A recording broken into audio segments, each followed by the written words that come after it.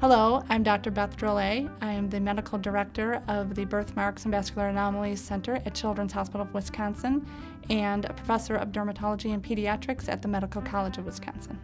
The center takes care of children and adults with vascular anomalies. Vascular anomalies is kind of a general term that's used to describe disorders of blood vessels.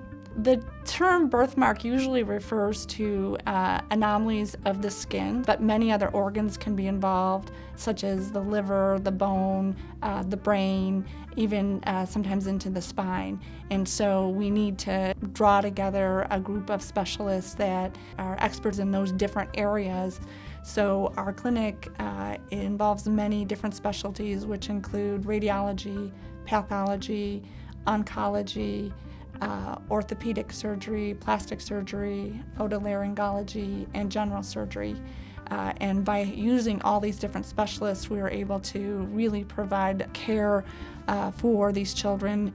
Many of our patients come from either within the state, also many come from out of state. So we really try to, to make the visit here convenient in that we will have the review of their previous records, review of their previous radiologic studies, the parents worry so much about if their child's life is going to be harder because of the way they look.